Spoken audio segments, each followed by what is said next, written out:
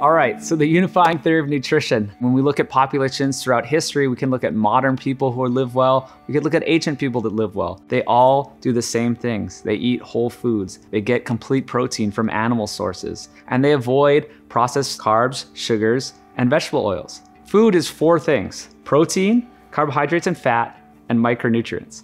So the protein and the micronutrients are your building blocks. This is what you need to focus on.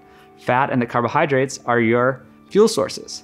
So you need to pick a fuel source. You don't really want to mix those and make sure you get enough of the building blocks while not getting too much of the fuel source. It's very simple when you break it down this way. It's kind of this sapien framework that we're calling it. And many diets can fit in it from carnivore to paleo to keto to pescatarian even. Now all these diets are made up of whole foods.